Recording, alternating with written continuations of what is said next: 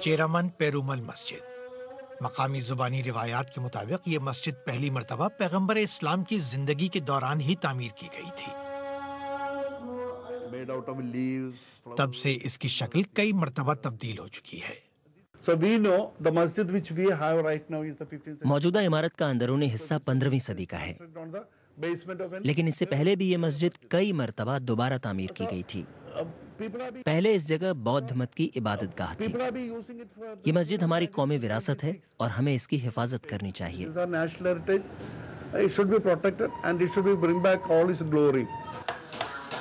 اس علاقے میں اور بھی کئی قدیم مساجد ہیں جو مقامی فن تعمیر کے مخصوص انداز کی عکاسی کرتی ہیں۔ نہ کوئی گنبد نہ مینارے۔ مانا جاتا ہے کہ ساتویں صدی کی ایک اور مسجد ہمسایہ ریاست تمل ناڈو میں بھی ہے۔ مالابار سے عربوں کا تجارتی رشتہ پیغمبر اسلام کی آمد سے بھی پرانا ہے۔ عرب تاجر سب سے پہلے سمندر کے راستے مالابار ہی پہنچے تھے، جو ہزاروں سال سے مسالوں کی تجارت کا اہم مرکز تھا۔ اس علاقے کے تاریخی ورثے کو محفوظ رکھنے کے لیے حکومت نے یہاں کے قدیم مزیری بندرگاہ کے نام سے ایک پروجیکٹ شروع کیا ہے۔ اور اب چیرامن مسجد کو اس کی پرانی شکل میں دوبارہ تعمیر کرنے کی تیاری ہے۔ اس میں وہ لوگ یہ بھی خیال رکھیں گے کہ تاکہ جب توڑتے وقت پرانی مسجد میں کچھ خرابیاں نہ ہوں، آجو بازو میں سائڈ میں جو کیا ہوا ہے کانکریٹ کا ایکسٹینشن وہ سب توڑ کے، وہ پرانے زمانے کے جو ٹائلز کے ساتھ، جو روف ٹائلز کے ساتھ اس کو بنا دیں گے، کر دیں گے، اور اس کو جو پرانے وقت جیسے دکھتا تھا پرانا اسٹرکچر ویسے کے ویسے بنا دیں گے۔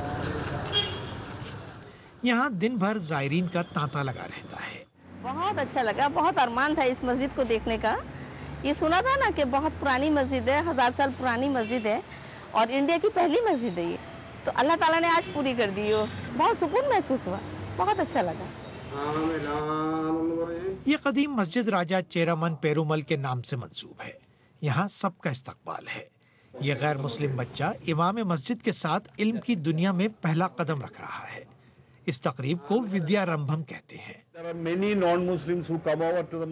یہ پیغمبر اسلام کی روایت ہے کہ آپ تمام مذاہب اور مکاتب فکر کی قدر کرتے ہوں۔ سب کو ساتھ لے کر چلتے ہوں اور بہت روادار ہوں۔ یہی وہ روایات ہیں جن پر ہمیں عمل کرنا چاہیے اور ہم کر رہے ہیں.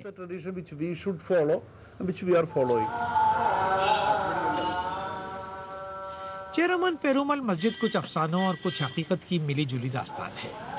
اس کی شکل تو جلدی ہی بدل جائے گی، لیکن مزاج نہیں۔ Sohail Ali, B B C news, Kodungallur Kerala